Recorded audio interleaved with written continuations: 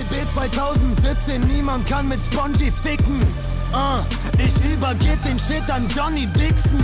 Meine Jungs kommen mit Kapuze und Ray-Ban. Deine Jungs kassieren paar Kugeln von Damon.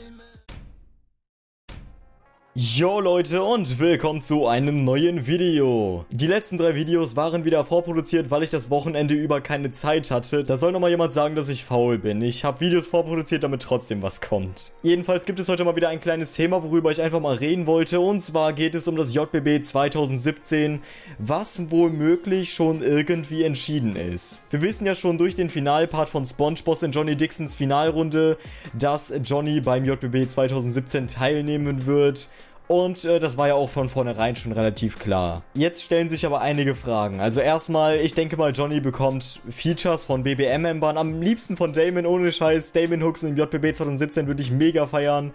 Aber ich denke mal auch, dass bei einem schweren Gegner oder zumindest im Finale der Schwamm zum Vorschein kommt. Oder Johnny halt auch einfach generell Hilfe von der ganzen BBM-Crew bekommt. Und jetzt frage ich mich halt so persönlich, wie wird das alles ablaufen? Julian hat Johnny Dixon ja zum Glück in der JM10 nicht mehr gewinnen lassen, also das wäre auch eigentlich gar nicht mehr möglich richtig gewesen, außer er hätte irgendwelche Downloadzahlen gefaked.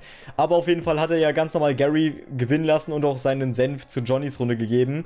Deswegen glaube ich jetzt auch, dass er fair bewerten wird. Außer er wird wieder nach alten Schemen bewerten. Ähm, bestes Beispiel ist Spongebob gegen Fortune. Das ist für mich irgendwie immer noch so... Meh. Ob das alles so fair war, meh. Jedenfalls frage ich mich halt einfach, wird Julian wirklich vernünftig bewerten oder wird er Johnny einigermaßen bevorzugen? Ich hoffe wirklich nicht, also wenn jetzt jemand kommt, irgendein Newcomer und Johnny richtig hart zerstört, ich hoffe, dass dann Julian auch wirklich neutral bewertet und jetzt nicht sagt, dass Johnny irgendwie die meiste Erfahrung hat und deswegen noch einen Punkt bekommt, also einen extra Punkt oder so.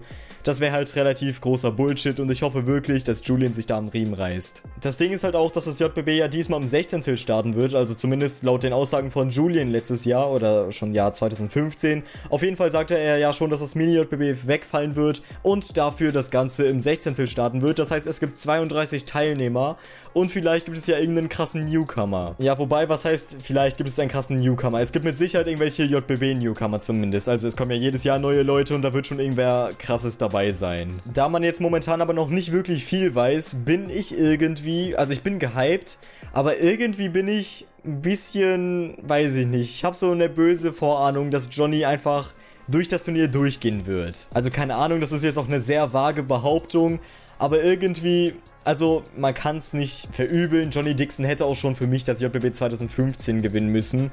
Also gut, gegen Neo hätte man sehen können, wie man will, aber ich finde, er hat auch damals schon gegen Neo gewonnen. Gut, das war wirklich noch Geschmackssache, wer, wer da den Extrapunkt verdient hatte. Deswegen bin ich da auch wirklich noch so, dass ich das durchgehen lassen habe. Aber keine Ahnung, ich denke mal, da hätte er sonst jeden hinbekommen, weil Ente ist halt ein krasser Punchliner, aber Johnny ist halt ein noch krasserer Punchliner. Da es keinen Technikpunkt mehr gibt, könnte Ente auch da nicht aufholen, deswegen denke ich persönlich, dass ein Johnny gegen Ente Battle für Johnny ausgegangen wäre. Auch hier ist es wieder eine sehr wackelige Behauptung, weil man ja einfach nicht weiß, wie die abgeliefert hätten, aber wir werden es ja, denke ich mal, im King-Finale 2017 sehen. Jedenfalls bin ich momentan einfach wirklich so ich weiß nicht. Also JBB 2014 und 2015 war ich wirklich gespannt, wer es bis zum King-Titel schaffen wird, weil das alles so offen war. Aber diesmal ist einfach Johnny dabei, der womöglich BBM-Crew-Support bekommt.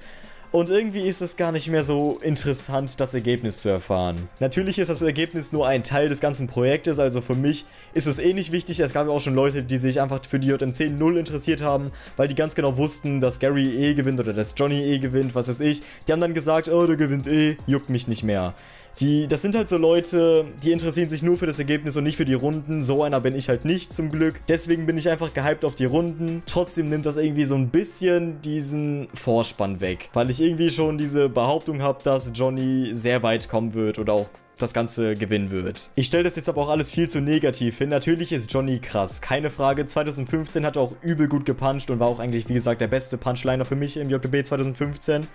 aber wir wissen halt nicht, was kommt. Wenn Johnny jetzt wirklich haushoch gewinnt, ist das kein Ding, aber ich habe keinen Bock auf so eine knappe Entscheidung, wo dann Julian einfach Johnny den extra Punkt gibt, obwohl es nicht gerechtfertigt ist. Aber gut, ich wollte das Thema nur mal ein bisschen so ansprechen. Könnt mir ja gerne mal in die Kommentare schreiben, was ihr dazu sagt, ob ihr das genauso seht oder ob ihr euch noch gar keine Gedanken dazu gemacht habt. Lasst auf jeden Fall gerne mal eine Bewertung da, wenn es euch gefallen hat, würde mich auf jeden Fall wie immer freuen und ansonsten sehen wir uns einfach beim nächsten Mal wieder. Bis dann, ciao. Auf geht's, auf geht's, immer weiter hoch, nie wieder bergab.